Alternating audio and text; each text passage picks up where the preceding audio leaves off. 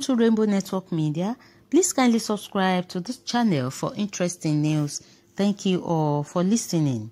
The governor of Lagos State, Babajide Sanwo-Olu, has said the isolation centers in the state and marked for the COVID-19 treatment are getting occupied again. Sanwo-Olu, during a media briefing on Sunday, expressed concern over the increasing number of cases in the state and hinted that there is a potential third wave in Lagos. According to him, the isolation centers have recorded a 5% increase in the occupancy in two weeks.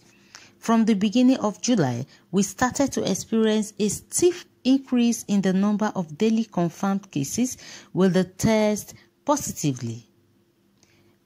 Positively rate going from 1% uh, at the end of June 2021 to its current rate of 6.6% as at 8 of July 2021.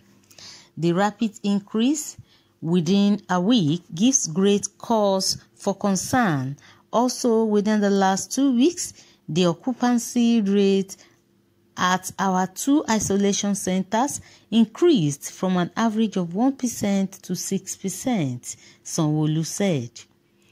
This comes barely two weeks after the Nigerian Center for Disease Control NCDC said it had detected a confirmed case with the SARS-CoV-2 Delta variant, also known as lineage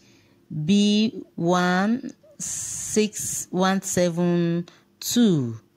Uh, so, guys, the governor of Lagos State, Babajide Sanwo-Olu, is uh, crying out loud that the prevention of third wave of COVID-19 uh, should be prevented by all costs.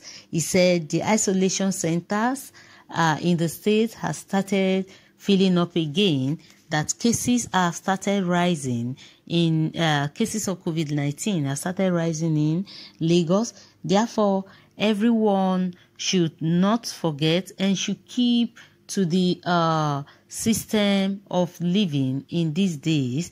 That is washing of hands, the use of sanitizer, and also uh, uh, covering of uh, nose by the use of nose masks in order to prevent the widespread of this deadly disease. So, guys, let's know your own thought concerning the third wave of COVID 19 that is trying to surface uh, now in Lagos State.